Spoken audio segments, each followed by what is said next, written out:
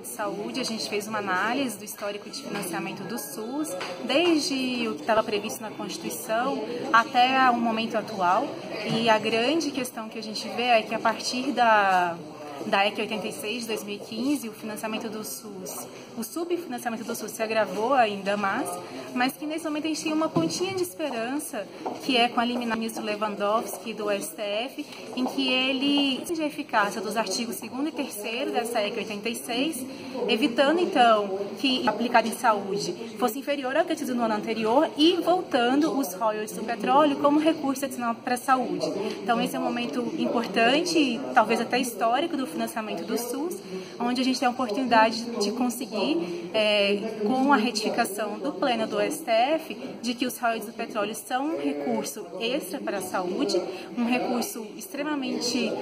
um, cheio de potencial de crescer ao longo dos anos e também com a anulação do artigo 2 para ter que restituir um valor devido no ano de 2016.